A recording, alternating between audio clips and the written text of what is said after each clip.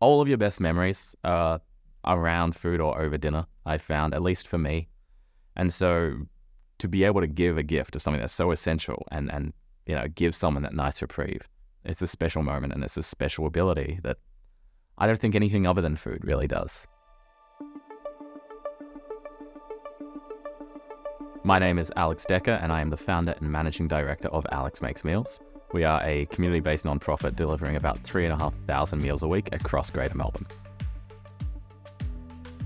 Alex Makes Meals started about two days after the first COVID lockdowns were announced.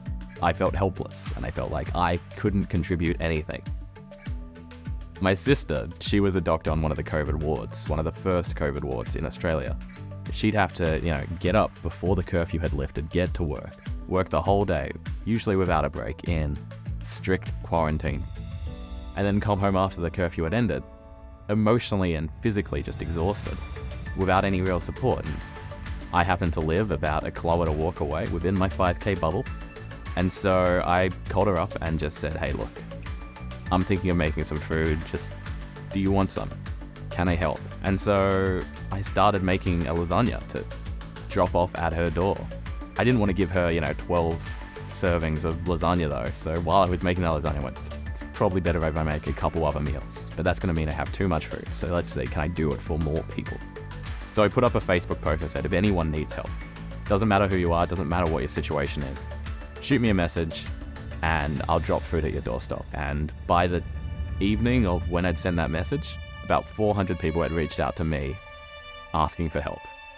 I was 19 years old at the time, and that is way too much for me to do out of a dorm room kitchen. But for every single person who had asked for my help, there was a half dozen people offering help, saying, Hey, look, I also have nothing to do right now. I also want to give back, don't know how. But I've got a large pot at home. Or, oh, I've just bought too many lentils, would you like to use them? Would you like to use my kitchen? All of a sudden, over here, we have hundreds and hundreds of people asking for my help, and we had hundreds of people here offering help, and just little old me in the center there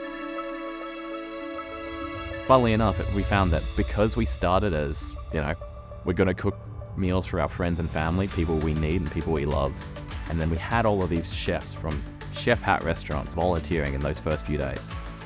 And it all anchored the quality of our meals so high that we were giving a service that was really hard to find out on the street and, and in vulnerable situations. If we were producing fresh food that you want to eat, whether or not you're in a vulnerable situation.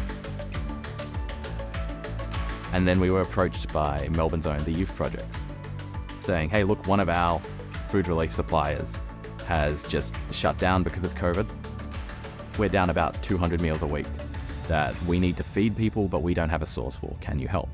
And we still feed them 300 meals a week today. They were our first official charity on that list. Now they're one of about 45. And it kind of just, it unlocked for us. We're no longer a COVID response charity. We're a crisis relief charity. There's a double digit percentage of Australians who access food relief every week.